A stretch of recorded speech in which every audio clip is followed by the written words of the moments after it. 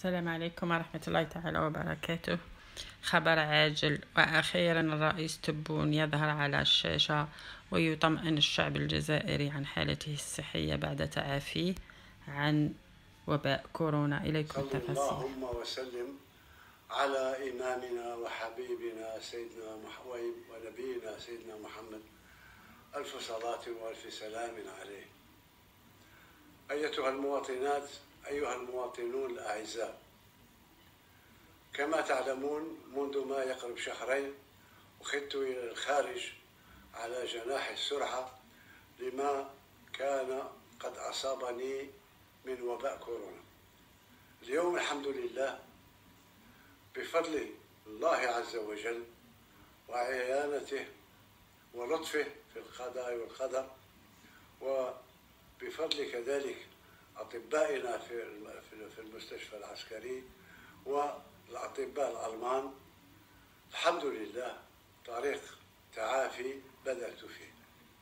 ربما يأخذ أسبوع أسبوعين وثلاثة أسابيع أخرى ولكن إن شاء الله سأسترجع كل قواي البدنية.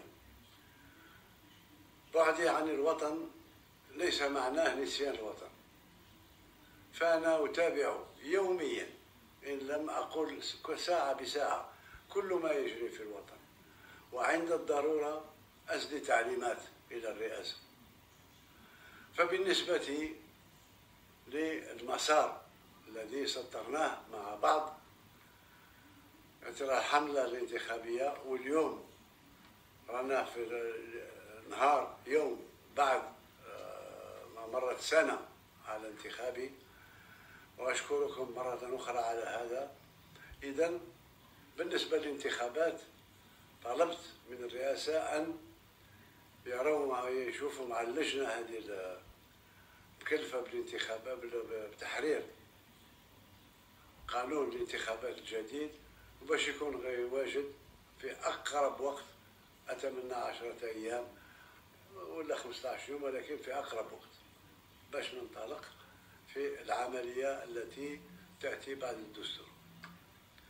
بالنسبة لفيروس كورونا الحمد لله اللي رجعت الأمور تدريجيا من 1300 حالة ساهم في انخفاض هذا العدد. بالنسبة للحياة الاقتصادية أعتقد أن الأمور ماشية.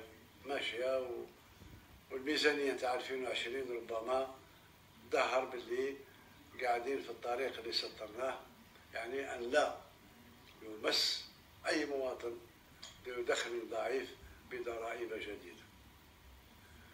بالنسبة للأوضاع السياسية في المنطقة فالجزائر قوية وأقوى من كل ما يجري حاليا. كنا ننتظر فيه كنا ننتظر فيه. ولكن الجزائر ما تزعزعش. ولا نأخذ مرة أخرى مقولة أو قول ولي الله الصالح سيد عبد الرحمن التعاليبي إن الجزائر في أحوالها عجب ولا يدوم فيها للناس مكروه. ما حل بها عسر أو ضاق متسع. إلا ويسر من الله يتلوه. بالنسبة للدخول المدرسي والدخول الجامعي الحمد لله الحمد لله.